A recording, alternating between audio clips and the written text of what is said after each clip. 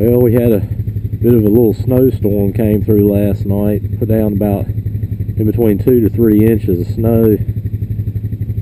And um, anyway, it's about uh, 20 degrees out right now. I thought I'd take the rancher out around in the yard here and mess around with it a little bit. I think this is really the first time I've ever ridden it in the snow.